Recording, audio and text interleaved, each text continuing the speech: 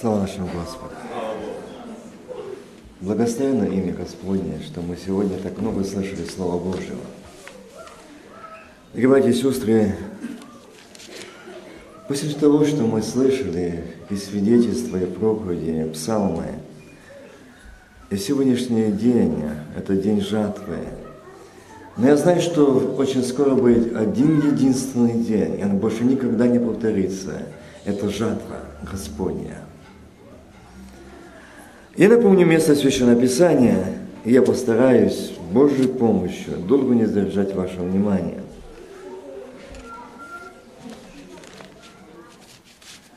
Это книга Осии, 6 глава, 11 стих.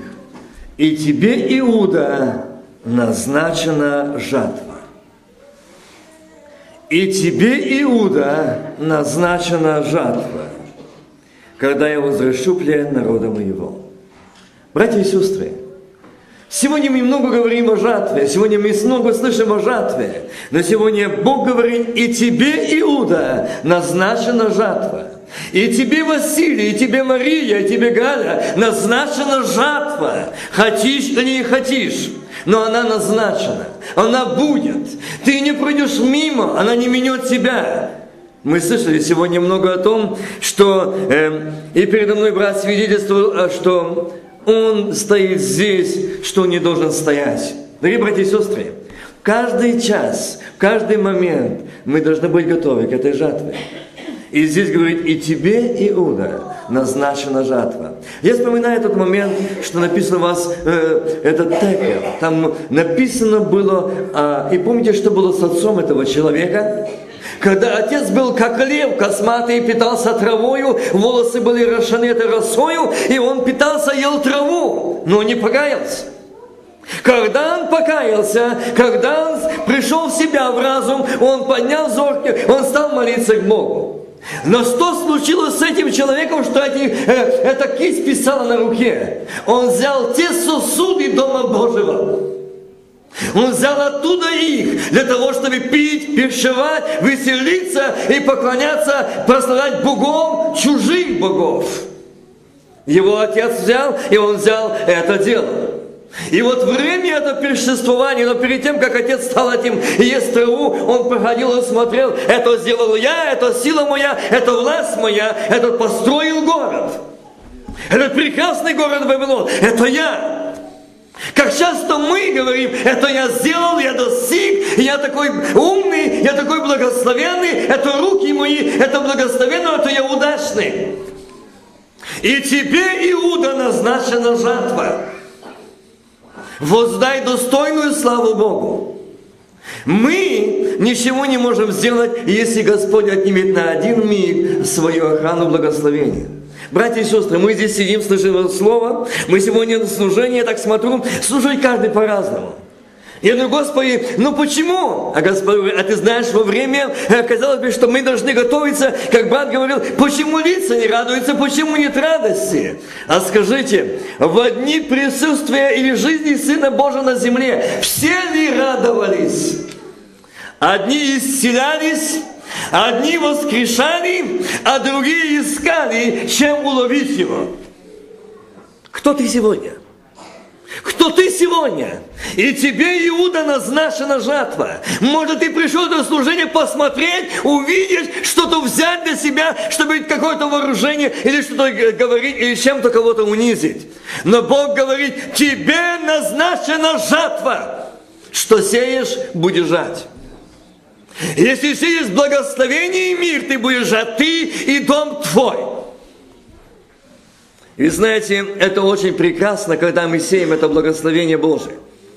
Но когда мы сеем другое, и знаете, я напомню один момент э, еще о сеянии. Тоже Осия, 10 главе 12 стих. «Сейте себе в правду, и пожнете милость, распахивайте у себя новину, ибо время взыскать Господа, чтобы Он, когда придет, дождь, придет дождем пролил на вас правду. Дорогие братья и сестры, здесь этот стих говорит, сейте себе правду. и пожнете милость, распахивайте у себя новину, ибо время взыскать Господа, чтобы Он, когда придет, пролил на вас правду. Вы возделываете нечестие, пожинаете беззаконие. Идите плод лжи, потому что ты надеялся на путь твой и на множество ратников твоих. Дорогие друзья, братья и сестры, передо мной брат говорил Виктор, и он говорит, я брат ваш. Я думаю, а никогда, сколько я помню его, он никогда так не пробыл за кафедрой не говорил, я брат ваш. О чем он сегодня говорит? Я брат ваш. Дорогие братья и сестры, заметим то, что на этом месте, с чем мы пришли сюда. И здесь он говорит, сейте, сейте, сейте, сейте в себе в правду. Скажите, я много слышу сегодня людей говорят, я ищу этой правды, где-то истинная церковь, где-то праведная церковь, где-то церковь, что может нам спастись. Вы храм Бога живого, и Дух Божий живет в вас. Это самая истинная церковь, это самая живая церковь. Устрояйте из себя дом духовный. И вы сами, как живые камни, устрояйте из себя не рядом сидящих, не с церквей, а из себя дом духовный. Мы не можем. Вы сейте в себе правду. Сейте. Что такое правда? И Пилат, он хотел знать, что такое истина, помните? Он хотел знать, что такое истина. Перед ним стояла истина Божья, Сын Божий. Но он хотел знать, что такое истина. Может, ты сегодня хочешь знать, что такое истина. Сегодня во многих церквах, я не во всех, но во многих церквах, так мало этой правды истины Божией. Так мало сегодня этого живого слова помазано Духом Святым. Почему? Мы привыкли, чтобы нам говорили ясное, приятное, чтобы нам говорили, что мы посажены на небеса, что мы церковь, невеста Господня, скоро будем там. Да, это благословенные братья, мы, говорим, мы любим такие проповеди. Сегодня многие проповедники, служителя, которые несли служение там, на Украине, России, Белоруссии, здесь плачут. Их даже не уважение, а, та, та тот старый законник, мы его знаем. Мы новая эра, мы новое строение, но только не Божие. Там, где Дух Господень, там свобода. Там, где Дух Господень, там не будет ни старца, ни юноши, но там будет любовь и единство. Там не будет мешать тот брат, там не будет тебе мешать сестра, тебе будет мешать только твой грех. Иметь общение с Богом. Люди сегодня не могут расстаться с этим, и они ищут, кто бы кого-то на кого-то обвинить. Кто-то виновен в этом. Иуда, тебе назначена жатва. Здесь видят слова «такел». Знаете, отец был перед сыном жил. Он не обратил внимания, что Бог говорил его. Он не остановился. Что он сеял? Кто жал? Сын тоже жал. Это была жатва сына. Потому что отец сеял. Отец забрал сети, э, сосуды из Дома Божьего. Отец взял, и сын пользовался. Отцы, матери, братья и сестры. Как часто мы не придаем значения, ну просто история, просто описано так. Да нет, это не просто так. Есть сеяние и жатва – и жатва. Сколько сегодня в церквах говорится о сосудах Божьих, он взял, забрал для першествования. Для того, чтобы ему радоваться. Для того, чтобы ему веселиться. Для того, чтобы ему вместе со своими друзьями, наложницами, женами радоваться. Он взял сосуды с Дома Божьего. Дорогие братья и сестры, ну я же не в Доме Божьем ничего не брал. Мы скажете, я ничего не брал. Дорогие, Братья и сестры, сколько вы своими устами этих сосудов Божьих, проповедников, молитвенников, сосудов, вы увели, чтобы их не было в Доме Божьем. Вы их избивали, вы их поносили, вы их критиковали, вы предавали нафиме. Вы подобны этому человеку. Может быть, ему был на стене дан шанс еще покаяния, написано «Мене, мене, так и персим». Но для тебя может оказаться сегодня последний шанс твой. Мой. Что сделал ты? Что сеял ты? Может, ты сеял клевету? Может, ты сеял осуждение? Может, ты сеял вражду? Ты пожнешь это. Но только где? Сегодня еще на этой земле буду жать. Буду жать, сын пожал. Результат. Я не хочу сегодня брать эту тему основания. У меня сегодня другая тема. Я сегодня буду говорить о жатве – о жатве. Но здесь это слово «текел» мне потросло в чем? В том, что этот человек видел и весь дрожал. Он в страхе был, он был встревожен. Что случилось? Кто объяснит, кто истолкует? Но никто не мог объяснить. Но жена, жена сказала ему, что ты, она, когда услышала, что он в таком состоянии, она входит в его палату, она входит в его комнату туда и говорит, что ты сделал, что ты паник? Что случилось?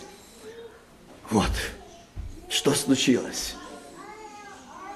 Кто истолкует? А в твоем царстве, а в этом селении, а в этом городе, а в этом месте есть муж Божий. Есть, который может истолковать тебе. Другими словами, тебе дан шанс покаяться. Тебе шанс сказать, отец мой был виновен, взял сосуд из Дома Божьего, и я последовал ему. Отче, прости меня. Ему был шанс. Он им не воспользовался. Он им абсолютно не воспользовался. Он услышал. И в ту же ночь его была встреча со смертью. Текел ту же ночь ей была встреча со смертью. Ты можешь сегодня в полном здоровье. Ты можешь, может, твоя семья в полном благополучии. Ты сегодня живешь прекрасно. Ты можешь говорить, сегодня раскидаться словами налево и направо. Ты вправе. Иуда, знай, тебе назначена жатва. Тебе назначена жатва. Придет день, тебе не будет, написано уже такел, но тебе будет предстоять другой момент – жатва, жатва дел. Я хотел бы сегодня остановиться, но я думаю, вы все прекрасно это знаете. Я просто не хочу задерживать ваше время. Это э, место Писания, где говорится о плодах плоти и плодах духа. Это тоже плоды. Это результат, что сеем мы. Это результат, что сеем, как сеем, какие семена правды. Здесь говорится себе правду. Слово Божие здесь истина, правда. Сей ее. Как сегодня сеется Слово Божие, что сею я, что рассеваю я, что говорю я, что несу я, я, мир в церкви, в домах, в семьях, благословение или слезы раздор. Что сеем мы? И знаете, Бог говорит, и тебе назначена жатва. Я вас в прошлый раз, когда был, я зачитал одно место, я только его немножко затронул. А сегодня я хочу о этой жатве говорить больше. Это место Писания, я тогда вам только напомнил его. А сегодня я хочу становиться глубже. Это тоже жатва. Многие ее боятся, и многие страшатся. Это слово текел. А у нас есть другой текел – смерть. И мы говорим о них очень много. Я зачитаю это место. Иов, Иов 5 глава, 26 стих. «Войдешь в гроб зрелости, и как укладывается снопи пшеницы в свое время». Один стих. «И тебе, Иуда, назначена жатва». А здесь говорит, войдешь, заметьте, не ляжешь, не положить. Войдешь в гроб в зрелости, как укладывается снопи пшеницы. Дорогие братья и сестры, сегодня это место Писания говорить о жатве. Это си говорить о жатве, войдешь. Как часто, когда мы услышим эхо э, заключения врачей, и люди начинают, когда в полном здоровье. Я помню, это было на Украине, может кто-то вас и знает, одного из служителей, не буду называть ее имя, когда к нему будет подведен сосуд Господь, а не было слова, сколько ты избил сосудов, сколько ты сделал зла народу моему, сколько ты изранил душ, сколько ты поносил душ. И вот наведу на тебя я, если не покаешься, поражу тебя болезнью. И сказал, какое? Он засмеялся и говорит, я такой здоровый, а желудок меня гвозди варит. Не прошло много времени, его уже давно нет на всей земле. Это был человек не старый, нет. И он ушел в вечность, только какую? И тебе, Иуда, назначен день жатвы. А здесь говорит, войдешь в гроб. Братья и сестры, я бы хотел для того, чтобы вам не боялись или не было страшно думать о том, что... О чем я буду сегодня говорить? Иоанна, 7 глава Откровения. После этого я, после этого взянул я и вот великое множество людей – чтобы вы не говорили, что что-то новое говорю или непонятно. Я все буду подтверждать местами Писания. Которую никто не мог перечесть из всех племен, колен, народов и языков. Стоял пред, пред престолом и пред Ансом в белых одеждах. Стояли. С пальмовыми ветвями в руках своих. И восклицали громким голосом говоря, спасение Богу нашему, сидящему на престоле и акцию. И все ангелы стояли вокруг престола и старцев. Заметьте, будьте внимательны. Взглянул я, и вот множество, великое множество людей, которые никто не мог перечислить, из всех племен, колен, народов, языков. Где стояли? Пред престолом. Здесь. А дальше говорит, и все ангелы стояли вокруг, они не могли здесь стоять. За них не было пролита кровь акция вокруг. Вокруг престола и старцев четырех животных и пали пред, пред престолом на лица свои и поклонились Ему. Сегодня дух обольщения – Сегодня дух сатанизма. Сегодня очень много сделал зла. Как мы слышали сегодня в церкви, это деградация церкви идет. Почему? Мы сегодня, а я ничего, а пусть здесь отвечают, брат и сестра, будет жатва моя и твоя. Что делал ты, живя на земле? Как строил, как созидал, как поддерживал, как молился, как устроял, как постился, чтобы церковь Христа была живой. Живой. Почему сегодня это? А и многие а есть там главные, старшие, как я часто слышу, говорят, а я отдал десятину и больше ничего не знаю. А что, говорю, десятина спасет? Да, наш пастор так говорит, десятину не скупишь царство. В ад пойдет своей десятиной, если ты не примиришься с Богом. Тебе нужно личное примирение с Богом. И вот здесь говорит, пали на лица, поклонились ему, пред престолом на лица свои и поклонились ему. Почему он сказал демоническое, сатанинское? Бог сказал. О том, что сегодня происходит, это дух обольщения за того, что мы беспечны, мы равнодушны, мы ничего не хотим делать, пусть кто-то другой. Я буду устроять свой дом, свою семью. Дух обольщения зашел. И сегодня падает назначь. Там исцеление. Там крещение духом, но каким? Шам чудеса и знамения, Бог сказал, пошли не за давателем чудес, а за чудесами. И сатана обольстил.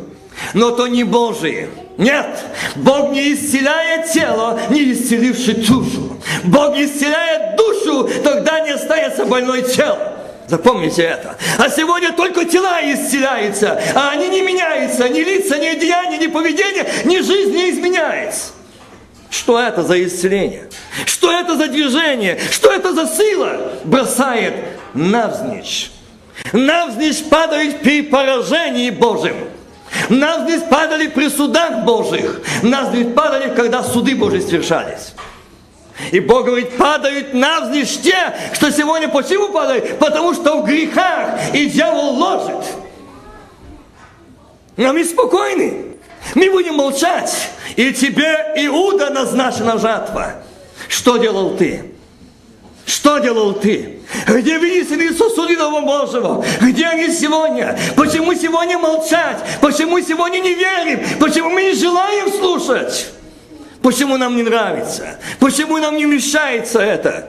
Почему? Мы вынесли, так легче перешествовать, веселиться в царство. Да нет, может быть, так и ждет.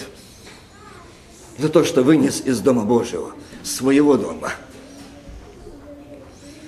И говорит, я взглянул, и он увидел этих, поклонились Богу, говоря, аминь, благословение, слава, премудрость, благодарение, честь и сила, крепость Богу нашему. Во веки веков, аминь. И начав речь, один из старцев спросил меня, эти облеченные, облеченные в белые одежды, кто, откуда пришли? Заметьте, кто, откуда пришли? Я делаю ударение. Откуда пришли? Не воскресли, пришли. Заметьте это. Откуда пришли? Я сказал, ему ты знаешь, господин. И он сказал мне, это те, которые пришли от великой скорби. Они омили одежды свои и были одежды своей кровью акция. За это они пребывают ныне пред престолом Бога и служат Ему день и ночь в храме Его, и сидящий на престоле будет обитать в них – он ни не будут уже ни алкать, ни жаждать, и не будет палить их солнце, и никакой зной. Ибо Агнец, который среди престола, будет пасти их и водить их на живые источники вод, и отрот Бог всякую слезу с глаз их. Церковь. Братья и сестры, мы все слышали сегодня о жатве и о том, что Христос скоро придет. И здесь говорит, а это кто? Пришли от великой скорби пришли. Я возвращаюсь к этому стиху о том, что 6, 5 э, главе 26 стих «Войдешь в гроб». И вот здесь они говорят «пришли». Пришли. Сегодня люди часто слушают и говорят «смерть, смерть, смерть». Все боятся этого.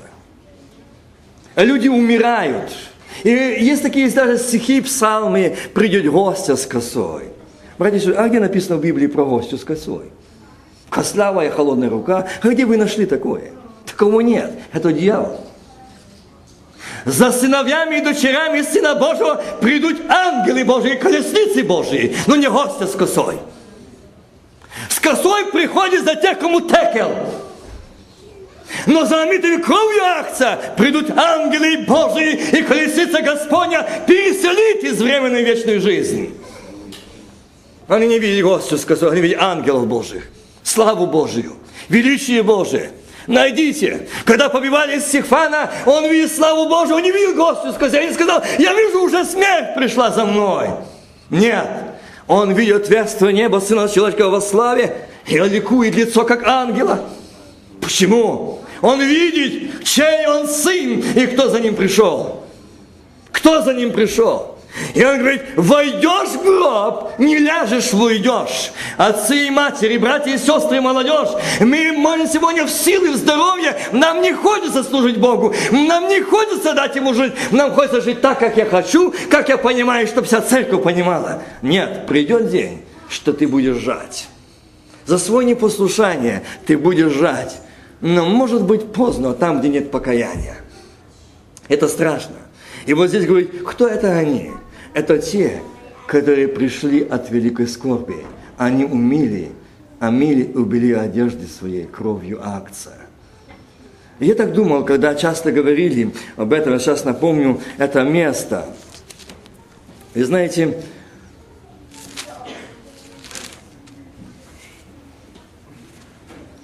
Пятнадцатая глава 1 Коринфянам. И если мы в этой только жизни надеемся на Христа, то мы несчастнее всех людей. Из 19 стиха. Но Христос воскрес из мертвых, первенец из умерших. Ибо как смерть через человека, как смерть через человека, так через человека и воскресение мертвые. выше этой главы я не читал, но там идет речь. То есть слово идет, и здесь Господь сказал через мужа, мужа своего. А если Христос не воскрес, то, вера, то проповедь ваша, наша тщетна, тщетна и вера наша. И дальше говорит, если Христос не воскрес, то вера ваша тщетна, и вы еще во грехах ваших. Поэтому и умершие во Христе погибли. Видите, о чем идет речь? Где смерть? Умершие во Христе. И здесь говорит, как смерть через человека, так через человека и воскресение мертвых. Как водами все умирают, так во Христе все живут. Каждый в своем порядке. Первый не Христос, потом Христове пришествие Его. А затем конец. Когда Он предаст царство, будьте внимательны, а затем конец. Будьте внимательны. А затем конец. Он предаст царство Богу и Отцу, когда упразднить всякое начальство и всякую власть и всякую силу. Аллилуйя! О, я благодарен за эти глубокие слова. А затем, а затем, это знает твоя и моя амнистия. Не ляжешь в гроб, не останешься в гробе, не будешь похоронен в гробе, а войдешь ты в гробе не останешься ни на одну минуту, ни одну секунду. Твоя душа не ляжет в гроб, только ветхий Адам. Но тебя я проведу. За тобой я пошлю. И говорит, а затем конец, когда он предаст царство Богу и Отцу, когда упразднит всякое начальство, всякую власть и силу. Это произошло на Голгофе. Аллилуйя. Это произошло там, где он поразил дело голову. Она добрала от него всякую власть и силу и начальство. Нет сильнее, нет выше, как Сын Божий. Он боится его. Это его смерть, его поражение. А мы его дети. И дальше. Ибо ему надлежит царство, доколе не изложит всех врагов под ноги свои. Еще одна минутка. Последний же враг истребится смерть. Аллилуйя ему! Христиане не умирают. Христиане переходят. Христиан не хоронят. Они переходят с временной вечную жизнь. За христианами гостя с косой не идет. Она поражена. Последний враг. Последний враг это смерть. Она была поражена, и он, когда свершил, он сказал, я читаю это месте, я говорю, последний враг смерть. Смерть, где твое жало? Аллилуйя, нет. Нет, почему? Ад, где твоя победа? Жало уже смерти грех. Видите? Вот почему верующие боятся смерти. Там неисповеданный грех. А митые кровью акция не говорят о смерти, они говорят о жизни с Богом. Они не боятся, когда их переход. Они готовы, потому что они в Боге и с Богом. Там не будет почетности, там у них почести то, что это потеря, это был наш двигун, это был такой брат, это была такая сестра, мы потеряли. Да нет, это ложь. Написано смерть, приобретение. Приобретение, но не потеря. Только люди, которые боятся смерти, говорят о смерти, проповедуют о смерти и говорят, и поют о смерти. А люди, которые воскресли, им смерть уже не касается во Христе, которые воскресли, они умерли, умерли для этого греха, этого мира. Они воскресшие со Христом. Воскресшие. И он говорит, смерть, где твоя жало? Ад, где твоя победа? Жало же смерти грех, и сила греха – закон. Благодарение Богу, даровавшему нам победу Господом нашим Иисусом Христом. Итак, братья мои возлюбленные, Будьте тверды, непоколебимы всегда, преуспевайте в деле Господнем, зная, что труд ваш не пред Господом. Здесь этот стих другая тема. Я не буду сегодня касаться этого стиха. Я сегодня говорю о жатве. Я сегодня говорю о том, что Господь сказал, жатва – это кончина века. Жатва придет твоя и моя. И сегодня люди очень боятся этой жатвы. Боятся, многие боятся. Я слышу, многие боятся того момента, когда же, когда же придет, или слышат, что уже все, их жизнь накануне отшествия. А я часто это слышу, говорю, «А, я так хочется еще пожить. Вы знаете, я, я не то, что этим людям не желаю добра, да нет, мне больно. Я говорю, человек, если бы ты знал, что ожидает тебя, ты бы никогда, никогда не сказал бы так. Если мы, Царство Божие будет внутри нас, этот мир Божий внутри нас, то вы будете молиться, будете просить Отца, Будете говорить ему, Бог мой, где-то моя колесница задержалась. Я так устал на этой земле. Мать, тебе очень трудно. Может, как один брат сказал, я каждый кустик полил слезами. Ночью все сплят, я поливаю, здесь хожу, нет возможности молиться. Этот кусты подрошены моими слезами. Но глаз Господень зрит, и будет жатва этих слез. Будет жатва этих молитв. Будет жатва этих бессонных ночей. Будет жатва о том, что ты молился мой о семье, о церкви, о детях, о том, будет жатва, брат, сестра, будет жатва, будет Божья жатва, Божьего благословения, будет. Ты пожнешь с радостью, сеял со слезами, но будешь ждать с радостью жатва. Есть разные жатвы. А люди кричат о разлуках. Люди кричат, почему так рано? Зачем? И Бог сказал, кто вправе сказать? Кто вправе? Я помню, когда он давал эту тему, он говорил, кто вправе. Вчера мне было очень много звонков с Украины. Одна и та самая семья. Горе. Муж говорит, помоги, помоги. Что случилось? Ребенок, седьмой ребенок умер.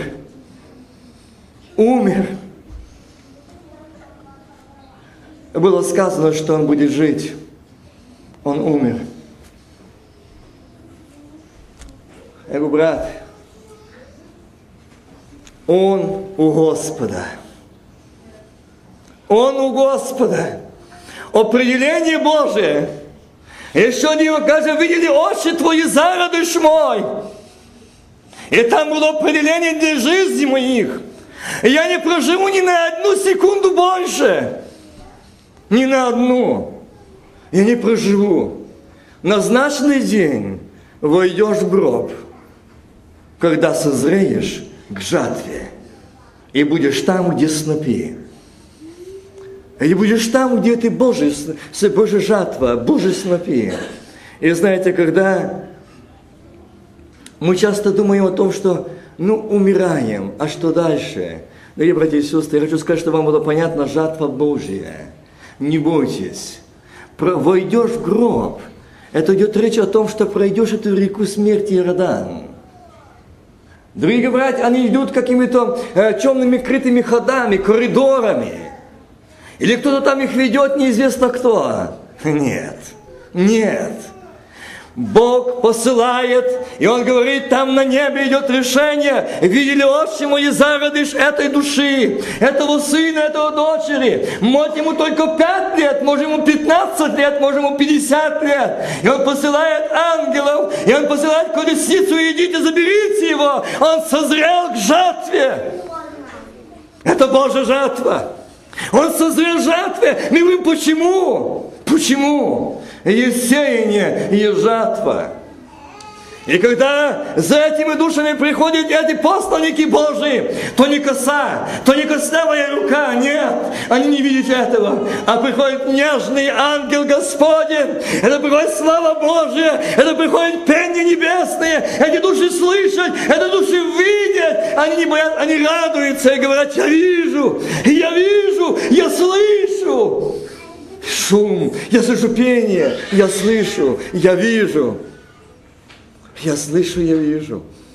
И когда эти души подходят, знаете, что здесь, я читал это место откровения, что там все время идет слава, день и ночь. Я не мог этого понять. Но знаю, когда это трудно нам представить нашим умом, наш ум так краток, чтобы это все понять и это представить. Но когда мы побудем там и вспомните мои слова, что был какой-то здесь такой, такой Вася приезжал, ну, он нам говорил, что непонятно, верить или не верить. Ваше дело. Но я скажу то, что вы увидите. В тот день, когда настанет ваша твоя жатва, и если ты будешь в готовом состоянии, примиренный с Богом, за тобой не придет гость с косой. Нет, за тобой придет ангел Божий и скажет, готов, пошли. Он обнимет тебя с любовью. Он возьмет тебя за руку. Он будет вести и скажет тебе, посмотри, скажет, вот светило. Вот только ты эти светила, которые видел ты с земли. Это утренняя звезда, которую видел, когда жил на земле. Ты смотрел на этот млечный путь. Ты видел эти утренние звезды. Вот они, рядом с тобою. Но мы идем дальше. Посмотри, земля, как осталась далеко. Там, где ты жил, какая она? Она очень неприятная. А земля – это замаскированный ад. Вы никогда не захочете вернуться на эту землю. Никогда добровольно вы не захочете идти сюда. Потому что здесь нет ничего хорошего.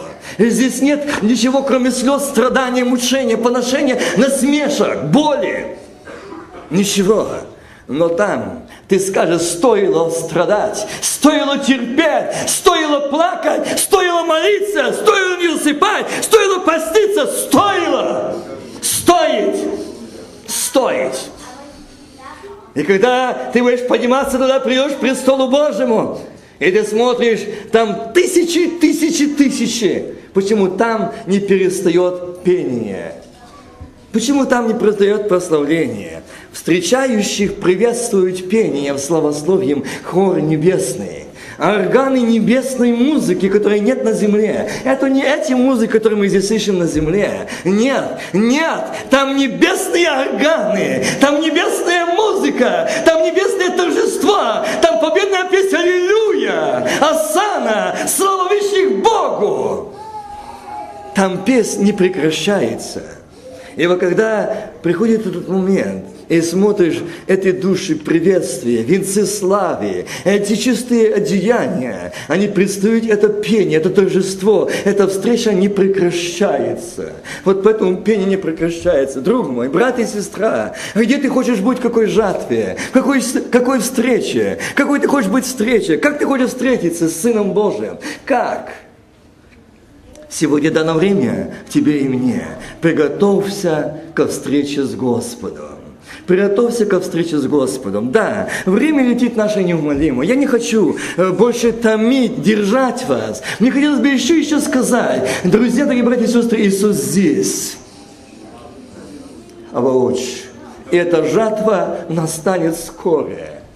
Иуда, и тебе назначена жатва. Кто за тобой придет? Кто?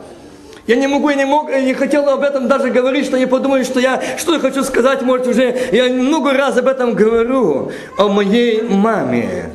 Это моя мама, которая родила меня дважды, я сказал бы, родила для, э, на эту землю жить и родила для Господа. Если бы не она, не ее молитвы, я сегодня не стоял бы здесь. И знаете, когда она уходила с этой жизни, я не ценила, я скажу откровенно, дети, мы часто не ценим нашими матерями и отцами. Мы так, а, это родители, они понимают, они дают нам свободу, они дают нам свободу жизни, они иногда мешают нам. Мы спланируем, мы решили, а мама с любовью дает совет. Божий совет. Он нам неприемлем. Он нам мешает. И знаете, когда она была живая. Она не раз я звонил, говорила, давала советы. Я благодарил Бога, что у меня мама есть. Но я не оценил настолько, насколько я понял пользу ее смерти. Что такое мама, молитвенник? Когда я не стала, я очень почувствовал то, что не стало того, кто за меня, никто так не сможет молиться, я не говорю, не хочу унижить сегодня детей или жену, они молятся, я знаю, как они переживают за меня. Но я знаю, никто не заменит молитву матери. Никто. Я это почувствовал. Я сказал, когда я не смог быть, я только последние минуты жизни, я смог поговорить с ней по телефону, я не мог приехать, у меня не было документов тогда на тот день попасть к ней. И она сказала, что наша встреча будет там. Это мой был последний разговор. И когда я приехал с Катей, своей женой, туда, на Украину, и сестры рассказали ее последние минуты жизни. Почему я хочу сказать? Умирают праведники с Господом. Она сказала, дочери сидели, она давала наставление, она была в полном здравом уме. Она была совершенном. И когда она созвала их, она с ними беседовала, говорила им. И она говорит, я слышу. И она слышит. Что ты слышишь? Шум. Она слышала это пение. Она слышала этот шум вод многих. И сестра моя старшая говорит, да здесь электричка недалеко идет, это шум электрички. Да нет, говорит, это не то. Не перепутаешь электрички шум и с пением ангельским. Его невозможно перепутать. Нет. И когда сестра говорит, когда она сказала, и говорит, деточки, вот пришел ангел за мной, какой он красивый, какое красивое деяние, какой он красивый, приятный. И он сейчас спрашивает, забирать меня. И она я слышу, он спросил, записана ли она, готова. И ответ, записано, что готова, забирай. И она попрощалась и сказала, детки, до встречи, я иду. Там не было гостей с косой, там не было холодной кослявой руки, там был ангел Господень и колесница Божья – которая дается для того, чтобы нас переселить. Войдешь в гроб, не ляжешь, войдешь в зрелости. Замомните, зрелость – это жатва. Это жатва. В зрелости войдешь. И тогда, когда войдешь, ты увидишь, ты вошел.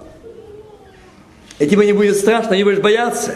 Я хотел бы сегодня сказать, не бойтесь. Никогда вы стоите о смерти, скажи, отойди от меня, сатана, когда эхо дошло до ваших ушей, а тебе осталось недолго жить. Смерть! Смерть! Где твое жало? Ты давно не имеешь власти. Я не умираю. Я не умру, братья и сестры. Вы здесь не, не жители смерти. Вы вечные граждане неба. К вам не имеет дела смерть. Она поражена. Вы перейдете от смерти в жизнь. От смерти в жизни. И здесь я хотел бы, чтобы мы задумаясь этим словом, когда он говорит здесь, как вода мы все умирают, так во Христе все живут. Я понимал, я думал так, вот это будет такое, как часто и говорили и в и в беседах. Я помню это. Я никого не осуждаю, но я так понимал, я так слышал, что в день воскресения будут на кладбище гроби открываться – но я вам скажу только те, которые умерли до пришествия Христа. Но те, которые после пришествия Христа, они не в гробах остались, они там на престоле, там сидят. Пред престолом, с пальмовыми ветвами, в белых одеждах. Они там в венцах славы неуедаемы, они там предстоят и славят Бога. Там твое место. Ты не будешь подниматься в гроб, из гроба, когда будет восхищение церкви, потому что ты будешь там уже. А живи что? Изменится. Изменится. Вот что ожидает, какая жатва ожидает нас. Какая жатва перемены ожидает нас. Те, которые отошли, наши братья и сестры, они будут встречать нас, как церковь земли, подниматься лють. За ними будут посланы эти посланники Божии, ангелы, слава Божья. А вверху стоит Отец, а вверху стоит Сын. И говорит, Отец, вот результат моих страданий, вот результат моих страданий, вот результат пролитой крови на земле, вот питки, вот страдания, вот поношения. Это она, это они, омитые кровью акца. Это они. Он отрод, твою слезу с глаз, может, тебе трудно. Тебя не понимают здесь, на этой земле. Ты старался открыть свое сердце, чтобы кто пострадал тебе, посочувствовал тебе. Не найдешь, дорогой брат, на этой земле никогда и никого. Иисус жив. Он только может понять тебя. Он только может помочь тебе. Он только может зайти к тебе и сказать мир тебе, мир сердцу твоему, мир дому твоему. Мир я не могу вам дать мира, если я не буду иметь давателя мира. Я не могу вам говорить о любви, если я его не имею. Сегодня много церквей говорят ложь. Говорят, за как выдри ложь о том, что мы спасены, мы на небесах, братья и сестры, мы церковь, но не говорят о грехе и о освобождении от грехах, потому что это не нравится сегодня. Дьяволу это нравится. Говорите, говорите, как прекрасные, говорите, какая ваша церковь прекрасная. Бог не посмотрит, сколько миллионов миллионов стоимости твоя церковь, сколько мы стоимость эти коври, сколько стоимость эти кресла, какая тебя стоимость музыка, какой тебе лайснес, какого братства не союза, но в союзе не ты с небом. Об этом это важно. Это важно. Сегодня люди обманывают, сегодня говорят, сегодня вручают титулы, звания, которые не имел ни Христос, ни апостолы, ни ученики, ни Павел. Никто. Я помню, как однажды Господь с скорбью сказал, смотри, что происходит, иди и говори, будут поносить еще больше, будете обливать грязью еще больше, потому что они во грехах, они дают звания богословов, докторов, бакалавров. Где это есть? Откуда это взяли? Откуда это взяли? Преисподней. Но это не Божьи титулы, не Божьи звания. Мои сыновья этого не примут. Мои сыновья этого принимать не будут. Помазанники не будут, но на них сила Божья. Дух Святой не даст этого. Церковь Божия, Церковь Божия, пробудись! Где мы сегодня? Мы сегодня накануне пришествия Сына Божьего, и тебе, Иуда, назначена жатва. Может, ты стоишь очень в современном популярном союзе, но ты не в союзе с небом. Примирись с Богом. Примирись с Богом. Может, сегодня ты потерял помазание Духа Святого, ты потерял ту первую любовь, примирись с Богом, ибо тебя, Иуда, назначен день жатвы, и ты войдешь в гроб зрелости. Но с чем? С чем? Как?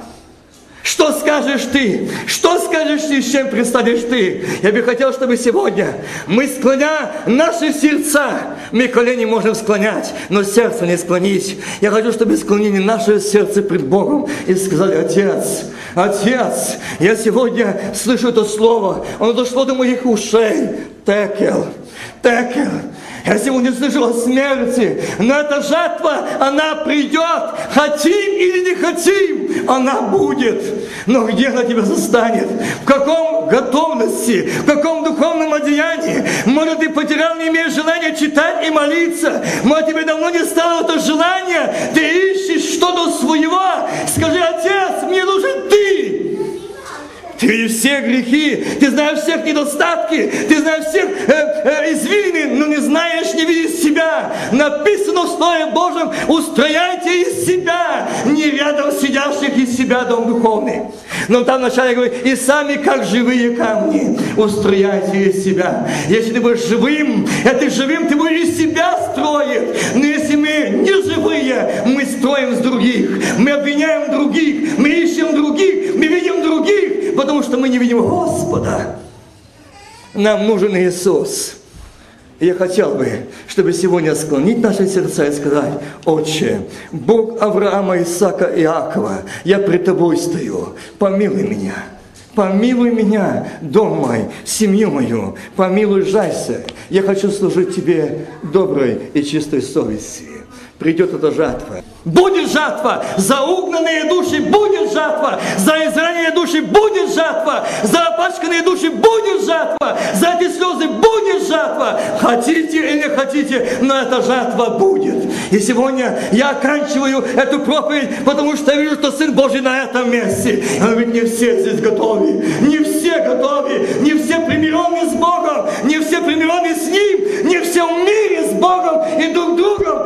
жатва тебе назначена сегодня. День жатвы, день жатвы твой и мой. Господь, освети меня, очисти меня, скажи лицемер, я лукавый, я гордый, я надменный, я жестокий, я клеветник, я поноситель, я так дальше. И говори правду, кто ты есть. Скажи, скажи, кто ты есть. Ты не помнишь, когда ты молился, ты не помнишь, когда ты читал, ты не помнишь, когда ты молился так, что был исполнен Духа Святого, что тебе не хотел вставать с колен. Не помнишь, забыто это время. Но Господь говорит, и тебе, Иуда, назначен день жатвы. Склоним колени. Ава Шеридус, помилуй нас, помилуй с нашей нами всеми церкви, помилуй, аминь.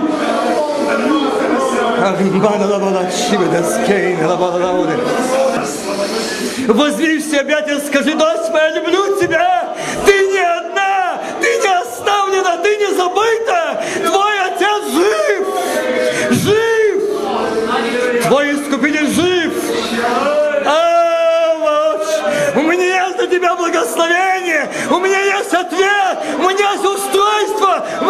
Спасение тебе и дома. Аминь. Халоч. Керабалауде чибеда скейнами. Керабалауде чибеда лауде. Кербалабалауде либеда жид. Кербалабалас кербалауде либеда жид. Аминь. Еще, еще наполняй, еще касайся. Аминь. Отец, ты пришел сегодня. Ты видишь эти души, которые пришли израненные, перевяжи эти раны. Отец, ты видишь этих матерей, которые переживают сегодня о своих детях, этих отцов. Поддержи, поддержи. Дьявол сегодня пока смотри, как они далеко от Господа. А ты говоришь, дочь моя, отец, говорит тебе, не бойся. Я есть воскресенье и жизнь. У меня ключи от и смерти. Не в дьявола. Последнее слово за Господа. Аминь. Твой искупитель жив. Аминь. Аминь. Авоч. Армауда либо да скибе да лауде. Кермауда либо лауде джибе да на ней. Рибидус, рибидус. Кармауда да балачай да скибе на ней. Авоч. Авоч. Дух Святой. Ты знаешь это, Господь. Я не хочу сказать сегодня своим сыновьям, которые сегодня изранены, как будто устали, никому не нужны, выброшены. А ты говоришь, сын мой, я знаю, я вижу, я слышу. Ни одна слеза не пала без счета. Ни одна молитва не пришла мимо. Аминь. Будет жатва этих слез. Будет жатва бессонных ночей. Будет жатва радости. Аминь. Никому сегодня не нужен. Ты надо бы Господу. Аминь. Тебя оставили люди. Тебя настоящие люди. Тебя оттолкнули люди, но не я. Аминь. Так говорит Господь. Нет. Небо. Рамауды, Чибедоскебе, Лауды. Дух Святой. Благослови. Благослови. Возьми в свои объятия сыновей и дочерей. Благослови. Отец, чтобы эта жатва была радость. Радость. Я благодарен Тебе, что Ты на этом месте живой. И Ты проходишь по родам. И Ты просматриваешь то, с чем пришел.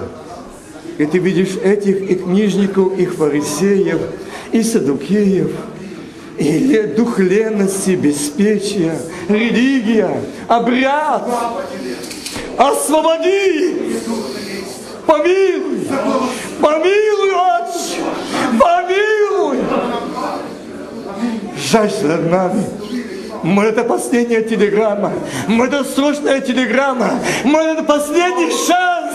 Ты поговорил моему сердцу. Времени больше не будет. Примирись с Богом. Примирись с Богом. Кармауна дивидачида скименене. Армина, армина. Ремидус, ремидус. Лория лабалауна Дедес. Авауч. И придет скоро тот день, когда твоя невеста скажет, прощай, земля, иду домой, аминь. Это слава, это величие. Тебе, тебе имени твоему слава. Отец, Сын, Дух Святой. Аминь.